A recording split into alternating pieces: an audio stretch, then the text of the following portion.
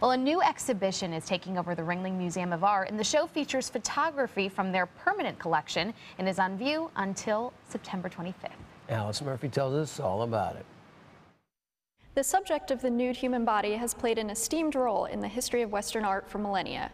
This exhibition, Exposure, Naked Before the Lens, presents the many ways in which 20th and 21st century photographers have shown the undressed human form in their work. Throughout the history of photography, from its origins in the mid uh, 19th century, is, is this really an art form? Can photography be a fine art form? And I think at this point we've established that yes, of course, it is. We consider it to be. Um, but a lot of the artists who are on display here in this exhibition um, were sort of fighting against that um, idea that photography isn't an art or that photographs of the nude form are somehow uh, illicit, whereas paintings or drawings of the nude form um, are fine art.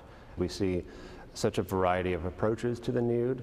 Um, you know, some we might think of as being erotically charged. Um, others show um, scenes of uh, a nudist colony, a regular middle class family who just happen to be nudists, for example.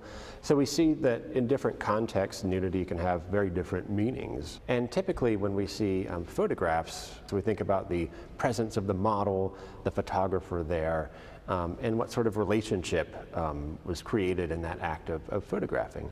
It, throughout most of the 20th century, you know, the um, typical nude, what was expected and what was sort of accepted too, um, even in a fine art setting, was the relationship of uh, a male photographer and a female nude.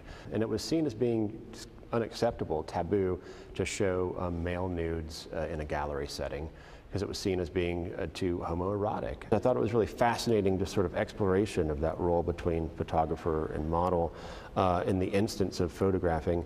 And from that, I sort of thought about the rest of the kind of the history of um, photography and the history of the nude in photography.